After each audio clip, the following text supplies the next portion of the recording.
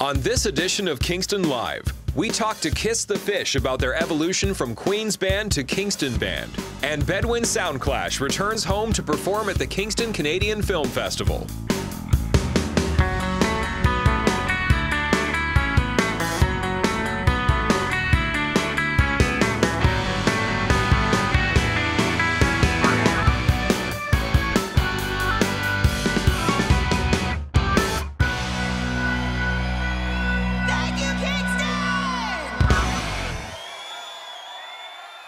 I'm Johnny San. I'm Riley Jabour. I didn't want to step on your toes. I don't know. I appreciate that. I didn't know what order we were going in. I, I think that was the order we had last time. I don't know. So that's fine. This is the Kingston Live podcast where we discuss all things happening in the first capital of Canadian music. And we have a lot to talk about because a lot has happened since our last podcast. Uh, first of all, just some simple things to start off. Um, if you are on a platform that uh, allows you to subscribe, please do so so you know when we have new podcasts and new things to tell you. Uh, our playlist, I'd like to remind everyone of our Kingston Live playlist. It's on Spotify. Lots and lots of Kingston music. Please check it out. And if you are an artist, band, musician, and you are not on the playlist, please give us a shout. Podcast at kingstonlive.ca. We have some tickets to give away for a performance at the Grand Theater. Yeah, coming up on uh, Mor- March March 14th. Lousy March weather. March 14th. Three-time Juno nominee Sarah Slean will share the stage with Canadian indie staple Hawksley Workman, who's also one of the nicest dudes on the planet. Seems Uh, like a nice dude. He is. Uh, Slean's combination of classical and pop will be joined by Workman's mix of electropop, glam, and cabaret. It's one of those rare opportunities where you can see two artists with their own unique voices performing their songs together and in one of the best sounding venues in the city. We have tickets to that show, so if you would like tickets, follow us on Instagram. Uh, it's not up right now as of the recording this podcast, and if it's not at the time of the release of this podcast, it will be very soon. So please watch for that. And of course, uh, if you want to get the most out of the Grand Theater experience, go to kingstongrand.ca to subscribe to Grand on Stage.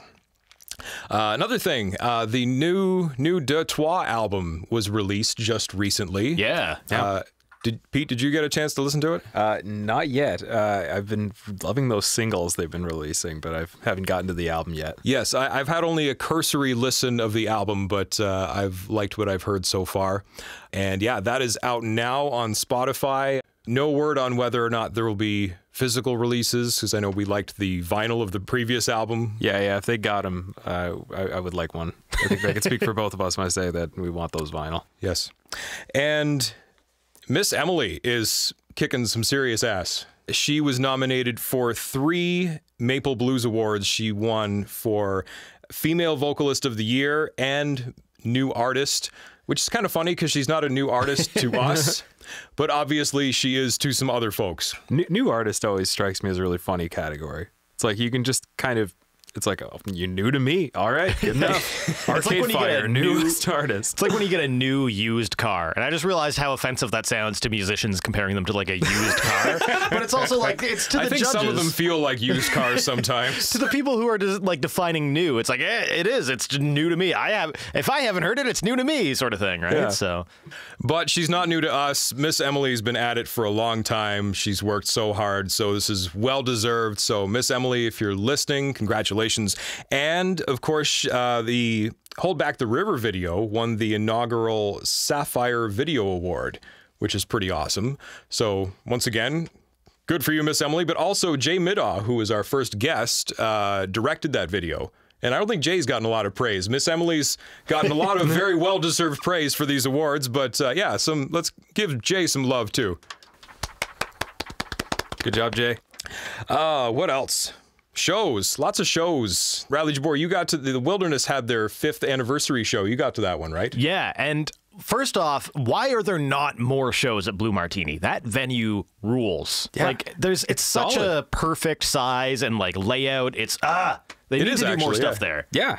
Yeah, it's really good. We both caught Colorado there uh, just a couple months ago. Yeah, great venue. Absolutely. And that venue, I mean, it's gone through a few incarnations over the last, you know, many, many years. But yeah, it's always had kind of that setup, uh, which, yeah, is just really conducive to great music listening and viewing. Yeah. Yeah, absolutely. And it was great seeing uh, them celebrate. It really felt like a celebration more than a concert. Like you got to see them perform, but it's also it's a distinctly Kingston experience when you go in and it's a Kingston band celebrating 5 years and I remember like I got in and by the time I got from, you know, that kind of hallway-esque area you are where you walk in before you're where the stage is, I had run into 10 people I knew just going to shows and being music fans. Like it's just, "Oh, hey, it's good to see you. It's good to see you too and you and you." well, I was just going to say, I love shows like that where it's a successful local band that's up and coming because it becomes such a community event. And yeah, we've all had that experience of walking into those shows and knowing like half the people in the room. Yeah. And they did a uh, one one really wholesome like amazing thing they did was uh, if you I'm, I'm really hoping I'm not going to screw up the name. If you've uh, seen their their story about Watermelon Jan, the Yes. the biggest fan that they have, who's from the states, they brought her up for their three cheers for five years uh, celebration at Blue Martini. Her first That's time she had ever left the United States. That's amazing. Yeah. Very Actually, nice. on that subject, it's funny how much video content there is about the wilderness because there is a new documentary about them. I don't know if you guys have seen this called The Long Run. It was just released a couple of weeks ago. It's by Bobby Shuchuk. And uh, it shot may, roughly about a year ago, and it sort of follows them as they're applying for a factor grant, as they're touring, and there's a lot of really neat stuff. You see them traveling through the winter, you know, in that that death trap of a van that they have, uh, and it's great. It's kind of like Spinal Tap, except it's real, and when it's funny, we're laughing with them and not at them. But it really does kind of capture that life on the road. Fewer drummers died. And Not a single spontaneous combustion the entire movie. Not one. No, no. Actually, that same night was the fourth. I wasn't at that show because I was at the uh, YGK Music Series show, the fourth one. That was at the Mansion, and it was Caveboy. Have you guys seen or heard Caveboy? Because I knew very little about the band uh, going in, but I kind of wanted that. I was like, you know what? I'm gonna just, I'm just gonna go. I'm not gonna look anything up. I kind of want to just see what's going on.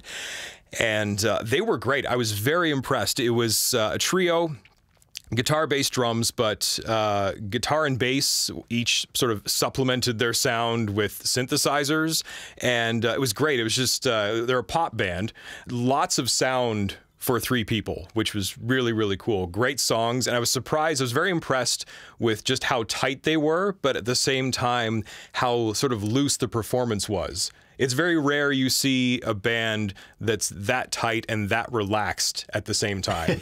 uh, and they were really good. I was very impressed. What else been going on? Last weekend, uh, did you get to, uh, anything last weekend? Uh, I Sorry don't put you on the remember things. What was last weekend? Well, last weekend, I don't think any of us saw this, which is kind of funny, but last weekend uh, was um, uh, Lost Cousins and Cassador were both back in town playing at uh, the Underground. I picked such a bad weekend to not be in Kingston. Well- I missed like three shows. Well, I was going to say the uh, I did get to the John Bryant show because I know you wanted to get to that. yeah, yeah. I really wanted to go. yeah, it, well, I, I did get to that one. Uh, yeah, he was really good. He's kind of like, um, he sounds like Dallas Green uh, if Dallas Green were like happy on stage. Yeah, he's got like a kind of Dallas Green, but slightly more of a hippie vibe, and I really respect that. yeah, no, he was he was good. And that same night, I actually finally got to see Infotourist. They- I kept missing their shows, but they were playing at Something Else Records, um, and Matt had them just set up in the shop, uh, which I was curious to see just how that would work. But it was cool. They kind of were sort of spread out in the center of the the store, and the crowd wasn't a big crowd. It's not a big store, but they you know they filled that space just in the front where you walk in, and it was great. Yeah, it was. Um, really good. They were just again really tight band. Uh, Jason's so good on the piano.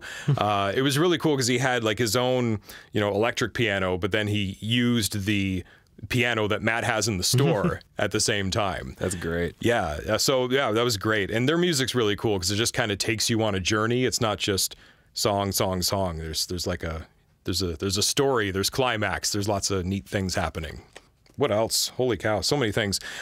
Bedouin Soundclash is coming to Kingston on March 12th. That's part of the Kingston Canadian Film Festival. And Riley Jabour had an opportunity to catch up with Jay We're going to hear that uh, toward the end of the show. And yeah, Kingston Canadian Film Festival is March 11th to 15th. It will also be the uh, premiere of all of those music videos that the uh, Kingston Film Office has uh, funded for uh, all of those local video producers and uh, bands to get on, like the Meringues we just had on the last episode. I'm Yeah. really excited to see what uh, comes out of all this. No, me Yeah. too. I'm glad you brought that up because I forgot about that actually. But uh, yeah, everything we talked about last in the last show, uh, yeah, that's all going to be premiering at the Kingston Canadian Film Festival in March. That's a ridiculous number of really creative people making some very diverse stuff. Like I have no idea what to expect. I like seeing like I don't know. I'm the kind of guy that goes and when there's a movie I'm excited about, I'll watch every trailer and like look up all kinds of different stuff about it. So like the local equivalent to that is just seeing all the like casting calls and like people I know who are like, oh, I'm looking for. I don't want to like say any of it to give anything away. I'm like avoiding spoilers for music videos, but all the the things they've been looking for and the I know Braden mentioned building sets for their the video that uh, he's doing with the meringue. So I'm very curious and excited to see the the little things that I've seen little teasers of online. Well, there was uh, an event to sort of announce all of those uh, pairings of musicians and producers, and Pete and I were there.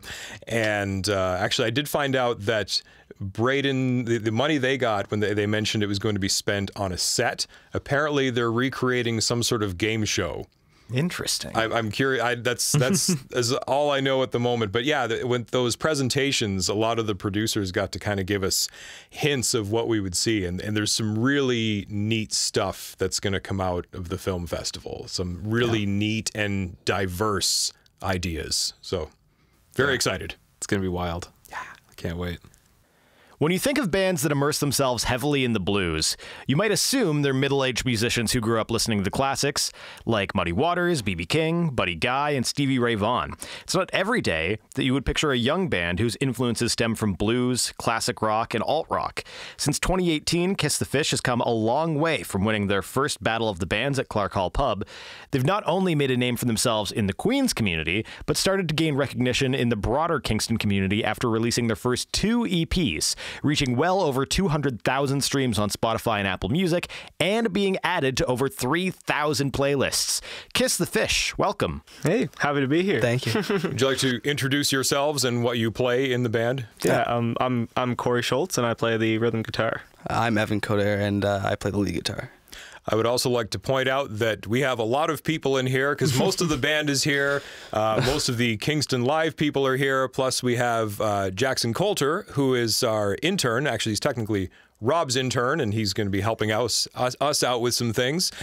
He's shooting, the band is shooting. So by the time this is released, there's probably going to be a lot of video content out there. So watch for that. I just realized we have equal number microphones and cameras. That's a first. That has never happened before. That's amazing. Okay. Good good problem to have. Yeah. so there's a lot there are a lot of people and a lot of gear in this little room uh, i thought we'd start by talking about queens because this is kind of an interesting subject for us. Uh, nobody on the kingston live team has gone to queens but we've all sort of been connected to it and obviously queens has such a presence in the kingston community. Um, how did you guys kind of come together? Well, um, Cory and I lived in the same residence in first year. I guess that is the uh, The main how- connection. Yeah, the main connection. Um, Same with Sam. same with well. Sam, who lived on like my And floor. He lived just down the hall from me for uh, for a year, and then I lived with him in a house later on. But uh, yeah, so pretty much we all lived in in res together, and uh, that was kind of what started our our friendship, I guess. And Yeah. um, we played guitar together like all the time when we were in first year and second year, and then eventually Cory and I kind of were just like, what if we did this uh, four people?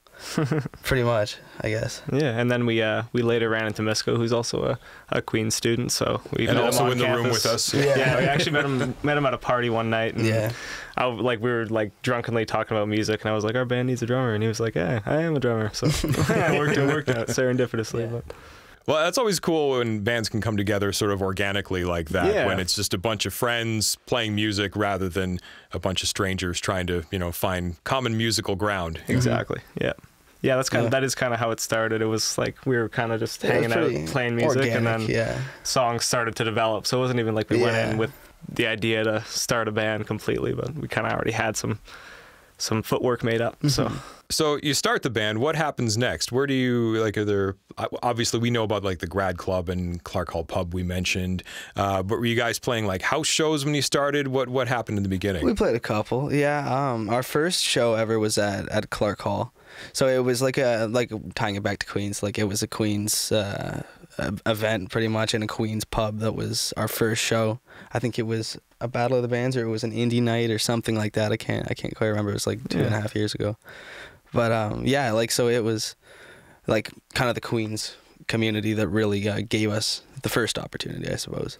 Well, it's such a neat community too, and like I said, none of us have gone to Queens, but I mean, we've seen so many bands come out of Queens University, Definitely. Yeah. and they're never people studying music, as far as I know. Like, what, what do mostly you guys? engineers. Mostly engineers is what I've seen. That does happen. I myself yes. uh, am, am in English, and Evan here's in music. So I that's- study Oh, you are in music. Excellent. So Excellent. there it is. Finally, Sean's burning bridges already. that's what I do. There's a quote on your website where uh, you guys said that it takes a second for them to respect a student band when you're trying to branch out from the kind of student world of music into the broader Right. world of uh, the music scene in Kingston. Could you kind of uh, elaborate on that and expand on your experiences going from being a, a student band to being a, I guess you could just say a Kingston band at this point, or just a band in general? Yeah, uh, it it is kind of hard because Queens is definitely like its own kind of bubble within the Kingston community, and I think a lot of people kind of see that already. So to kind of like we already know we have so many fans within that bubble, you know, but then to go play a show at the Toucan where it's like half locals and half like our friends, you never know how that's gonna first like come off.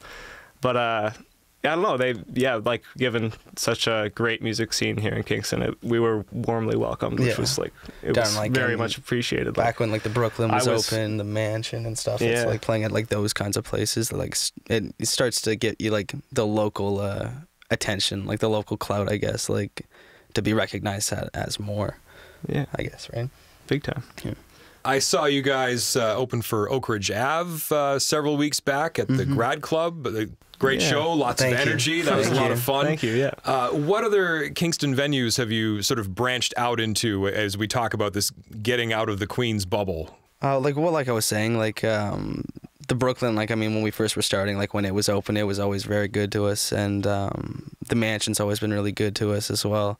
Um, the Toucan as well. Yeah, the that's where, uh, yeah, like um, where set Oak up- Ridge plays a lot. So um, and we're looking to play with them. I think they're Yeah, on the eighth, on the eighth. Yeah, Yeah. yeah.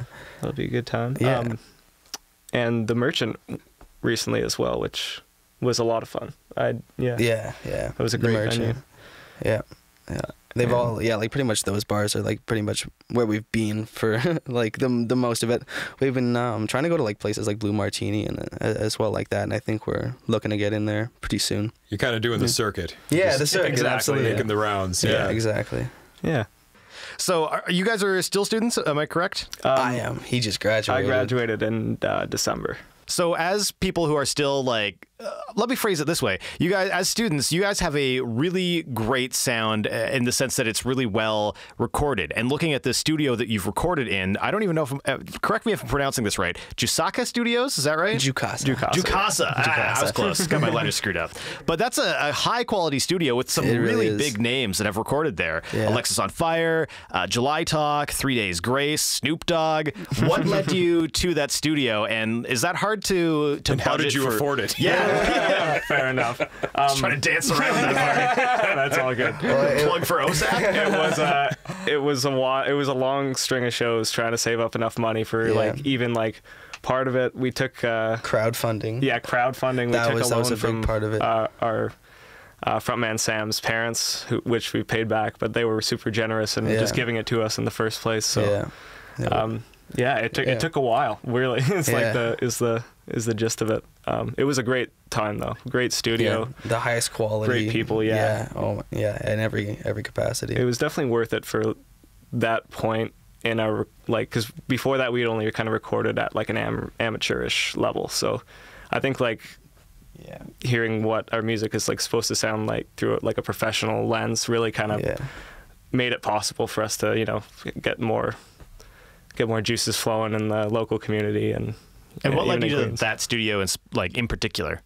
Well, there's actually uh, Misco right over there who um, was just uh, I don't know. He he really really wanted to go to that studio. He he knew the reputation of it. I guess it's um it's kind of just outside of Hamilton, sort of like uh, on uh, the the native res, like out there out there, and uh, and I I don't know what what what led you to that.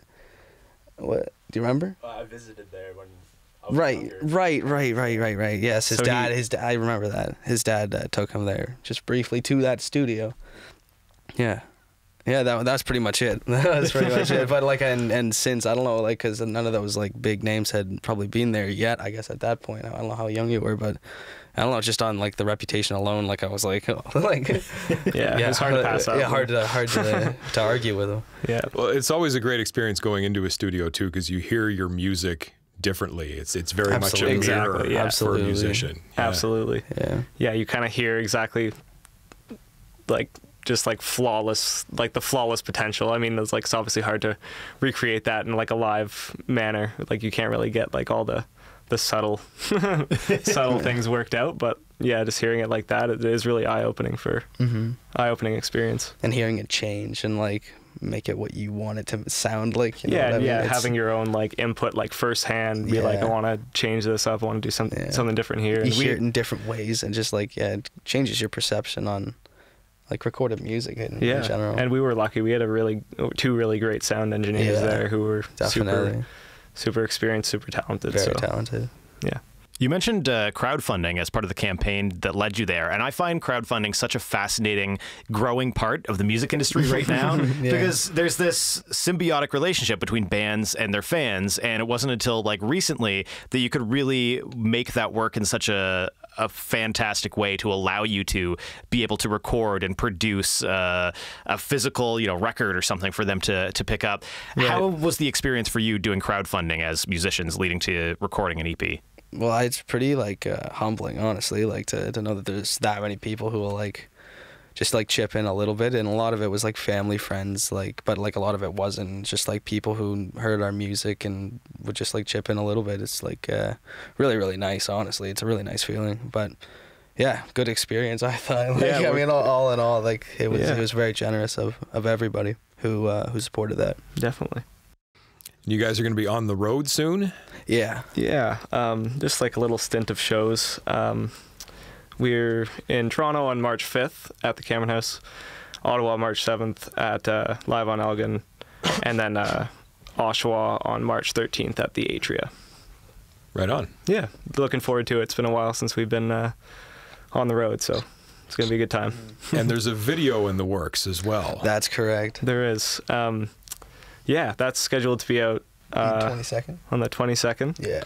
It's all shot and filmed in Kingston, so Kingston strong there. well, we were talking about that last month. I love that, and this is sort of a new thing in the last five to ten years. Is there are Kingston music videos now? Yeah, Yeah. which is Yeah. really cool. Are we Yeah. going to see some familiar Kingston sites, or is it going to be more of an, of an it's kind of indoor like kind of thing? it's kind of like the I don't know. Yeah, It's, there's you- like you not might. a lot of iconic iconic Kingstonography.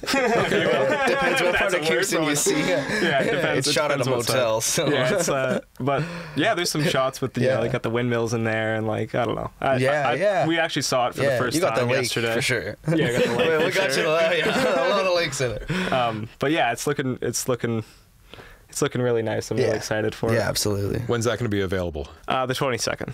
So I'm excited to excited for it to be out there. I always like to ask about uh, any any horrible experiences on stage, any mishaps, any stories. We've had a couple of those. We've had a Everybody couple. has, yes. Yeah, yeah. What, what do you got for us? you wanna? You know, it's a good story when it starts. It's not even about either of us either, which is It's like. not about either of us. Um, But uh, there's one that comes to mind yeah, immediately. yeah, it's just one. Um, yeah, Sorry, Sam. yeah, yeah. hey- He should have been here. Yeah, well, so it was it was a while ago. He's he was very upset when it happened, but uh, so pretty much it was um, homecoming. I think so. Homecoming, yeah. And we were gonna play like a, a really big show. It was the biggest biggest show we'd played for a while, and it was outdoor outdoor place. It was like the reunion, the reunion street festival. Yeah, Reunion Street Festival. Yeah. Are you guys sharing a water bottle? Yeah, we- Did we not give you your own? Like, like oh, we got each? one, and you know we're Oh, it's decent. easy going. You know, Yeah. it's fine. Sorry, continue. no worries, no worries. But um, yeah. So uh, I wasn't. Uh, I wasn't with Sam. I, I think I slept in. I slept in pretty late. I wasn't. Uh, wasn't enjoying the uh, the festivities. And uh, but at about four o'clock, we were supposed to go on at what time? Like like uh, eight or something. We were opening. We were opening uh, for for um, who are we opening for? Sam Roberts. Sam Roberts. Thank Yeah. you. Jeez, I couldn't fucking remember that name. Sorry. Can I um, say that? We're Yeah, Yeah, you can swear here. It's okay. oh, sweet. Okay, cool. Uh, sweet. I should I have guess said it was- before the philosophy here on swearing it's immature to not be able to express yourself without swearing it's also immature to pretend you've never heard a swear word before Also so that. with that in mind please proceed Oh, thank you. Can't even think without swearing. But um yeah so so he was uh it was like it was getting late in the day i got a call from uh from ben I, our, our buddy ben who Yeah, nobody uh, had really seen him. no one had seen We him for a while It was he getting was, to the point where like sound check was gonna happen pretty yeah, soon. he was we with all- like our like our group of friends and like uh, so he got way way too fucked up and uh yeah, and so we, uh, I went and saw him. He was like trying to sleep it off, passed out in his bed. We put him to bed for like about an hour and a half. got him back up. He was like, uh, immediately ran to Starbucks, got him the yeah, largest got him a- coffee, with three espresso shots in it, fed him Yeah. bread, you know, fed the, him the usual. got him he was like, at first he couldn't yeah. focus his eyes anywhere, but then we finally got him to, you know, follow the finger, that kind of thing. and uh, I mean, we got him we there. made it work. yeah. I remember our trumpet sound- player. Our trumpet player, to summarize. Matt Matt Vico, our trumpet player at the time, uh, prayed in the porta potty out back. he prayed to God, and he Yeah, hasn't been a- he hasn't been Christian for a while. Yeah, needless to say, it was a very stressful situation. It certainly was. It was, and, uh, and to add like add uh, insult to injury, uh, there was strings breaking. Yeah, and Kelby. It like, was, like, minus, Kelby's like, bass string broke. Yeah, so, so- there was strings breaking. Oh, it was calamity. It was uh, Yeah. interesting, but, but we enough got time, through it. Yeah, enough Yeah. time's passed now that it's yeah, just it, kind it of makes hilarious. it makes you honestly, stronger in the long. As long as you like get over it, and like that's the worst that can happen, then it like makes you like. I'm just glad Sammy had a good day. You know. yeah, he did. Honestly, time of his he, life, he so had a, he had a good time. That's fine. Yeah, somebody had a good day Yeah. exactly. absolutely. I'm curious, like, what happens? You know, we've already talked about people graduating. What happens to this band in the future once everyone's done school? Does the band continue, or is this just uh, for a good time, not a long time, or is this going to keep going? I want to like I want to keep it going personally. Like I don't know, I'm I've just been working down at Chez Piggy and just playing in the band lately, so it's been a good time. Kind of Yeah. maybe considering a masters in like a year or two, but for now it's just We're I think we're looking to to probably move to another Southern Ontario city, like probably a bigger one, either Toronto or Ottawa. Um, looking forward like uh, to like the next half of the year or the latter half of the year rather. But um, yeah, I, I think we definitely our our attitude is uh, to to make uh, revenue from the band and uh, to live off of it eventually if we Yeah. can in the next upcoming years. And yeah, that's pretty much our attitude. Fingers and- crossed. Yeah, yeah fingers crossed. That's a Famous big last ask, words, I guess. yeah. we'll see. Cool. Well, Yeah. good luck. Hey, thank you. And we have a new single to play. yeah, Yeah. Neon vacancy. Yeah. Anything you guys would like to say about the song before we get into it? Uh, Is this the premiere like of the a- song? yes. Yeah, Yeah. yeah, yeah, This will be the, it is, probably yeah. the first time. Well, Yeah. I guess this isn't live right now, but It will- This will be Yeah. released very soon. it'll soon. be Yeah, released at midnight tonight. Yeah. Yeah, Um. yeah. And oh, I, I think the music will speak for itself. I hope. Like, I hope it'll it'll translate its Yeah. its message. Yeah, It's kind of like I'm a, excited for it. Like a rock ballady vibe, but it's Yeah. got some got some heart in it. So Yeah. Yeah. No, I heard it. It's good, and it has Thank you. all Oh, that. cheers. Yes. Yeah. Yes. Thank you. Well, guys, thanks for coming in. This has been a lot of fun. Yeah, thank cheers. you guys. Thanks for having us. Thank you. Yeah. So this is Neon Vacancy by Kiss the Fish on Kingston Live.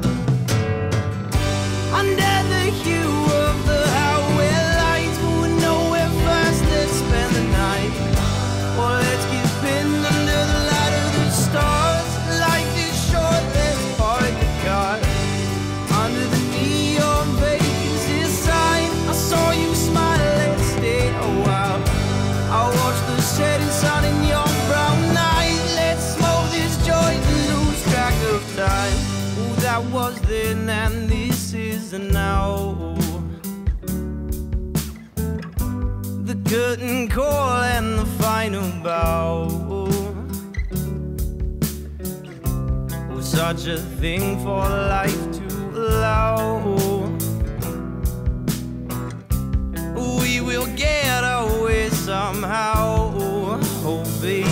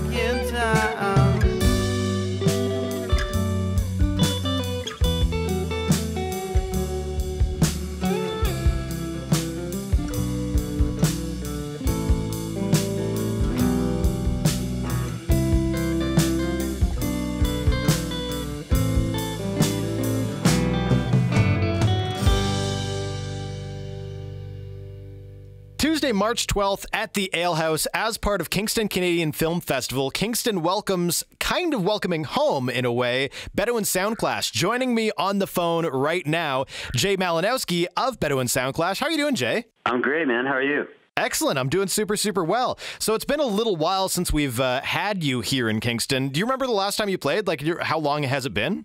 I think it was at the Ale House. I, I always think of it as AJ's hangar, but um, I think that was probably in 2010 when we were on Light the Horizon. I was going to say, I'm, I'm sure you think of it as AJ's, having that been the identity when you were a Queen student here. Do you remember any particular shows you attended as a student that really stood out to you at the venue at that time? Yeah, for sure. We well, I mean, it was the shows that we opened. I mean, when we were at school, I think the first big show that we got to play was um, with David Usher. He was oh, he was playing there, and uh, I think last minute we were asked to, to open. And then the, I think, but so that was like the first kind of bigger band we played with. And then, um, but the most memorable was was opening for Big Sugar a few times while they were there, and we became friends with Gordy uh, through those shows, and we've remained friends ever since. That's outstanding, especially thinking of uh, you with David Usher at the Ale House. That's or at AJ's, I should say. That's a very distinctly Kingston show. you know what we loved is that we'd always get asked by uh, by people if like the opener fell through, like uh, the promoter would call us because they'd be like, "Hey, Bedouin's probably around." so I think we opened for Arrested Development um, at Stages as well. That was the most random show we did. That's pretty great. I would love to see that. That's a hell of a double bill. yeah, it was it was awesome. So uh, let's talk about what you've been up to. You put out the uh, the new album uh, just last year. There was a nine year gap between full length releases from Bedouin Soundclash. Uh, what was uh, was that by design or what was the the story there? Yeah, I mean, we've been doing it for a while. We, I mean, it was all we did for 10 years. And I think after that, we kind of just needed to take a break. And I started doing a solo project. I wrote a book. I went on a book tour with that so we just kind of like we left it. We didn't ever say we were breaking up or anything. We just took some space, and then uh, nine years later, I kind of um, I wrote something that kind of that sounded sort of Bedouin. I sent it over to Eon, and uh, we started making a record. And during that time off, as you mentioned, you did do uh, your solo record. You also recorded that uh, Armistice EP. What's it like writing a new record for Bedouin versus writing something for one of those two projects? Hmm. That's a good question. They're they're all really different. Like whenever I do a collaboration, it's always it's it's one of the most rewarding experiences. It can also be super challenging because you have to make compromises, and that's I think a really important part of a creative process, anyways. And, and you learn a lot. But each one's different. Like whether it was Armistice, working with Beatrice, or then doing uh, the Dead Coast project where I was working with classical musicians it's really it's it's kind of I always feel like I'm I like to push myself outside of whatever safety zone I have. But when I do Bedouin, it's because of me and Eon have been like best friends since we're 18. We kind of don't even have to just to talk. We we speak the same language, and it's just it's it's really um, just natural. So I feel like with Bedouin, it's a lot more. It feels like home, and the other ones are just really good in terms of learning. Well, you also mentioned the book that you did in that time off in between. Uh, it's hard to call it time off because you were still busy with so many projects, but you also uh, did create that book, Skull and Bones, Skulls and Bones, I should say, uh, which is an illustrated novella. You're also into uh, visual arts. You're a very creative uh, person in every medium. What was that like, taking that new that new medium to that level? Um, it was like an idea I, I, I had in my head. You know, I, I was the the Dead Coast project started with this inspiration from my from my grandfather who grew up in Cape Breton and had all these stories of the sailors and where we came from and, and our history back to, to Ireland and France. So I had this idea to, to start trying to like, okay, I can't just express this just through music. And so it's like, okay, well, maybe I'll write a few short stories. And then um, Harper Collins got involved and I realized, okay, I'm going to write a book, which I had no idea how to do. Um, and it, it was a lot. It's a lot more consuming than a three and a half minute song because the arc of your idea has to last over a, a couple hundred pages. Um, it was. I mean, it was. Uh, I don't know. Sometimes I think I make things really difficult for myself. Um, but it was. I'm glad it's over. well, you say you didn't know what you were doing when you started off, but I think that's how all great art starts, right? Like if you if you had an instruction manual on exactly how to do it when you're getting started, then it wouldn't be art; it would just be paint by numbers, right? Yeah, well, and I think yeah, there's a. I've, I've thought a lot about you know, you, you kind of have to have a bit of. Um, I guess there's a bit of bravery, but also just not even thinking about what you're doing and just going for it. I mean, even from the start, like if you told someone, hey, we're going to start a, uh, you know, we like the Clash or like the Specials. We're going to start a kind of like reggae influenced band in Canada and out of Kingston, Ontario. Everyone been like, that's kind of that's kind of a crazy idea.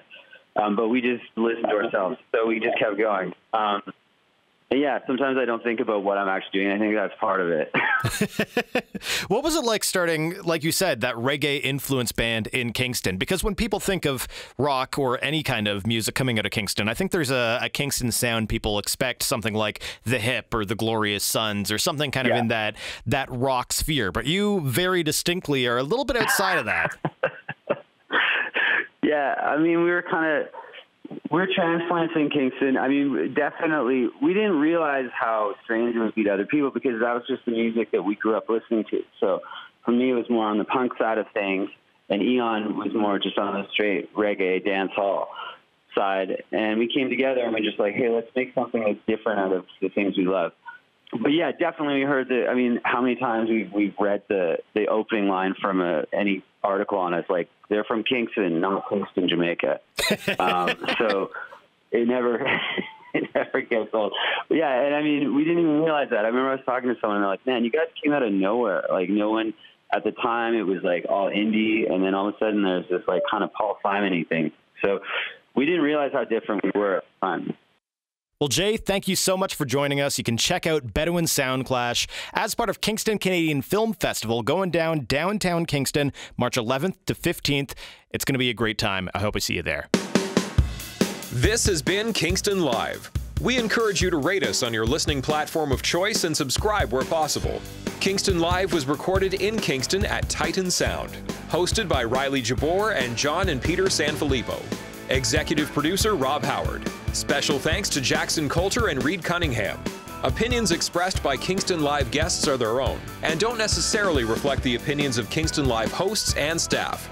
We'd love to hear from you. Email us at podcast at kingstonlive.ca.